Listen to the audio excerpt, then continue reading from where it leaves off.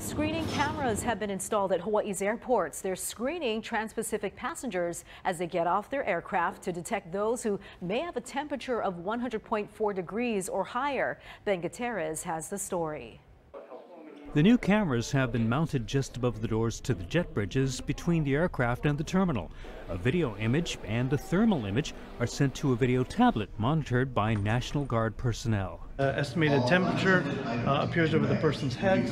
Then only if someone exceeds 100.4 degrees in elevated body temperature would their image appear on the bottom of the screen. The system is replacing the manual screenings in which each passenger had to stop to have someone take their temperature. Now that this is involved, people can exit the jet bridge without stopping and continue on. Um, so it's a more efficient uh, manner of deplaning and exiting the plane. The system was developed by NEC Corporation, but this is the first time it's been installed in an airport. We have a, a couple other installations in the U.S. with some other customers, which is similar in nature. Want to bring automation as well as the safety and security of that automation at the same time. Eventually, the cameras will take a snapshot of a passenger with a high temperature. Now, that picture itself will not be shared with anyone um, outside of the State Department of Transportation.